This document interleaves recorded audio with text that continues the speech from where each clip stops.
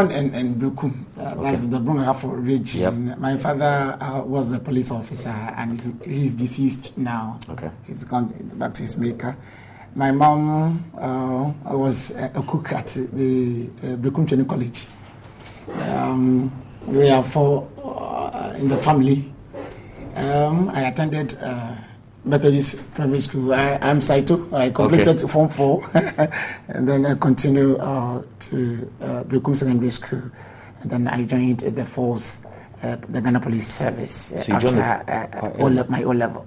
Okay, so straight after O level. So you Yeah. what? 18? Just No, I, I was I was about, but I stayed home uh, for a while before I joined the services. Okay. It was So you've been in the police force for for a oh long time. uh, about um about eight, uh, fifteen thereabouts. Yeah. Okay. How old are you now? Come again. How old are you now? How old I am? Uh, I'm in my forties. You're in your 40s. Yes. Okay. All right. Um, any siblings, brothers, sisters? Yes, I have I have, I have two brothers and a, and a sister. Okay. Younger, older? Uh, I'm third third in the family. Um, my the one follows me is is, is a boy. Um, this is, my sister is the second second in the family. Okay. Um, what was it like in school for you? Um, I mean, while you were in school, were you already um, one of the people that you could see would be a police officer? Were you a prefect? Were there, uh, you know, instances where you could see yourself being a police officer? Even No, not at all. school? Not at all. I, I never thought I would be one uh, because uh, how life was. Because my father was a police officer. I I, I, I never saw him. In fact, he left when we when I was in uh, class three. Okay. I never saw him until I got to form five. Oh, wow. I, I came to look for him. So police matter wasn't. In fact, it wasn't on the line. Right. I wanted to be a teacher Okay. because I love children so much. Yeah. So, but life life wasn't easy at all because uh, my mama had to take care of the family the and kids, yeah. and uh, her sisters, daughters, and sons, and all that. So one had to uh, hustle and struggle to meet uh, what what what was there then. It wasn't easy. Okay. Um, so you said you wanted to be a Yeah, in teacher. school, I I, I wasn't a prophet. Uh, I was I was a, a cultural leader. Okay. I was a good dancer. You're a good dancer. okay, all right. So th- actually, that will lead to some other stuff that we'll talk about a little bit later on. Um, so, so how's it for you juggling or dealing with these two huge aspects of your life? You being a gospel artist that everybody knows, you know, by face and, and by your career, and also being part of the Ghana Police Force. Yeah, it, it, it, it is not easy uh, combining these two major, uh, uh, I mean, say professions. Uh, it's not easy at all. But uh, I believe that God will not give you any task that will not give you the strength, the ability, the enablement to be able to carry them all out successfully. So the strength comes from God, uh, except that it's my wife that I, I, I bother. I'm bothering, uh, bothering a lot because hardly I stay at home, always out, out, out, out. Yeah. I thank God she understands the ministry, not my profession. So what she does is she, she prays for me. Anytime I tell I tell her I'm going out, I'm going for a program, she says I'm praying for you, and that's it. That's that's that's good. Um, now, when it comes to the police force, uh, what division or what sector are you in? I, I'm with the procurement. Procurement. Okay, yes, so uh, you, you're in the office. Yes. Yes, dealing with some paperwork and, and other stuff. Um, how do people treat you in the office? How do people treat you within the, the, the police force? Oh well, um, when it gets to a job, we do our jobs. Everybody has his duty that he performs, but uh, they take me as their own. Those who uh, have to advise me do advise me. They give me encouragement, and I always I also relate with them very very nicely. Um, I, I, I wouldn't want anything to to be on my head and uh, carry me, you know. I, I, I try to relate with everybody. And not when you ask, if you ask anybody at the point, they will tell you. Okay, uh, I mean, okay. So, so considering, I mean, you're, you're calling from God and such, and you being such a devout Christian, do you have certain difficulties when it comes to certain aspects of policing, i.e., um, maybe uh, apprehending a criminal? Oh yes, I, I've, I've been I've been trained to be a professional, professional police officer, Right. and that's what the law says that when you when you see crime committed and when or when a crime is reported to you, you must act. Right. Even civilians have have have that opportunity to do arrest. Yes. But when you do it, when a civilian does an arrest, immediately you should send the, the culprit or the the the criminal or suspected criminal to the police station. So uh, that's my profession. I always say this that even me, even on stage, and I see a crime being committed, I'll drop the microphone and perform my duty. The reason I'm laughing is because I, I said to Martin this morning, what would happen if you were actually mid song and you saw something happen? You would jump off stage. yes, I'll, I'll jump uh, uh, uh, off stage and do my duties. There should be peace and harmony. If you're even ministry, ministering to, to someone, you, the, the atmosphere must be serene so that the person can grasp what you are impacting or saying to the person. Right. If it's chaos, if there's a program that's a chaos and all that, how would people even uh, uh, uh, concentrate on Yeah. what you're doing? Okay, So but you, you say you would, but have you? I mean, have you physically apprehended criminals? Um, one, one, one I, I was, I was, I was uh, training. I, I, I did. I do go for operations. I've, I've been at Darfur, uh, uh, war zone area. I go for uh, operations ou- ou- outside and within. Um, I do, I, I do arrest. I, I, pre- I apprehend. Okay, great stuff. All right, now w- within the police force, also, do you do you get any you know preferential treatment? Has has you being being the gospel star Kofi Sarpong uh, helped in any way in regards to promotion or the way you're treated in the in the force? No, no, there hasn't been one. I, I, I'm course 36, and I move with my course mates. uh, Okay. when when it comes to promotion, I move. um, I, I, I do my my job, uh, and that is the talent and gift God gave me. So, and I'm even grateful that the administration gave me the opportunity to un- unearth the talent that I have. I'm fine. Do, do, do your colleagues uh, sometimes come to you and either seek advice or redress in regards to your other side of business? mostly the mostly they do come. They do come. Those who have uh, that talent uh, not necessarily uh, uh, uh, voice to sing they have other things that they also think that they can do uh, they come for advice here and there. Some come ask you how did you do it? and, and, and all that as you were asking how do you manage your timings and, and, and all that so they do come and we- we share, we share together. Okay. Share together. All right. Now, um, I, I want to talk a little bit about crime within Ghana at the moment. We've had a recent uh, spate of um, very, you know, bloody attacks. Um, we even had rumors of certain contract killings. Um, what's your view on crime in the country at the moment? Um, do you think that the Ghana Police Force is well, you can, considering you're in procurement as well, fully equipped to deal with the kind of crime that we're dealing with on a day-to-day basis. Or we, we're doing our best under the circumstance. Uh, we're, we're trying our best. Uh, I don't have the statistics. Uh, the CID has it, and and uh, our PRO PAD department have these uh, statistics. So, but under the circumstance, uh, we're doing our best. All right, but wh- what do you think about the, some of the crime? Mean, Not necessarily how you're dealing with them, but what's happening in the country. I mean, we've even last week or the, you know a couple of weeks ago, we had a situation where there was altercations between the public and the police force during a demonstration. Uh, people were crying out that it was police brutality. Uh, the IGP came out and said he's proud of the force and the way they dealt with things. What would your opinion be in, in that regard? Uh, we are to protect life and property. And if my boss, the IGP, it has come out to say this, um, I don't let, let it stand.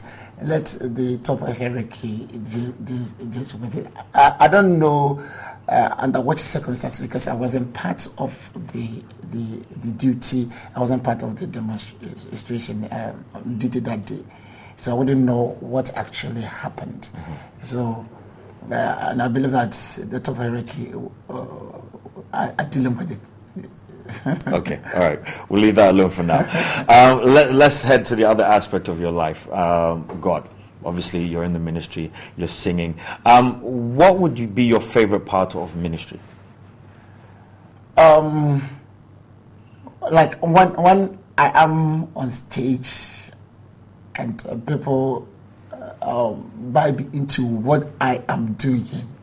Uh, it, it, gives me encouragement. It urges me to move on.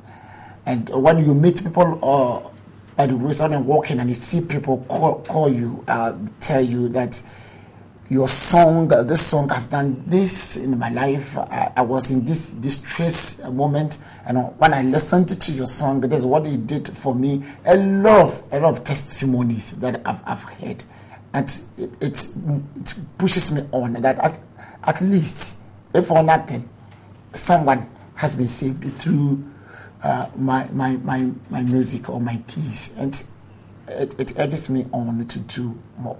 Okay. Um, there have been, well, th- there are various uh, so called men of God who are doing works which, let's just say, God wouldn't be too proud of at certain times.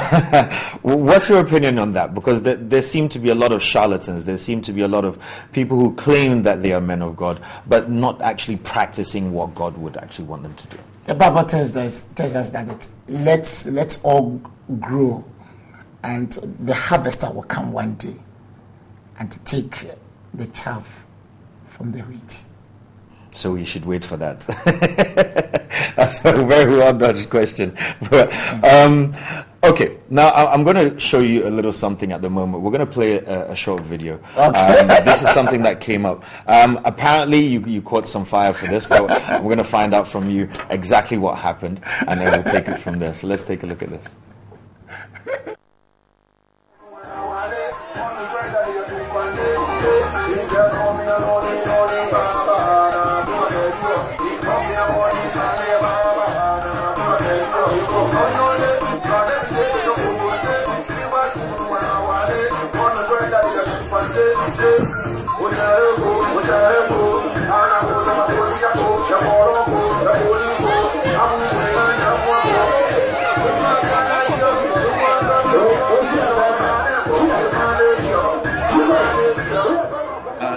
That was obviously a video of yourself yeah. and uh, Adjustma dancing to uh, Gasmilla's song Telemo. Yeah. Now, personally, I didn't see anything wrong with that. Um, apparently, you caught some stick for that. What, what, was what was the whole thing about? No, I I, I what I realized that people were sending back the video to me. Okay.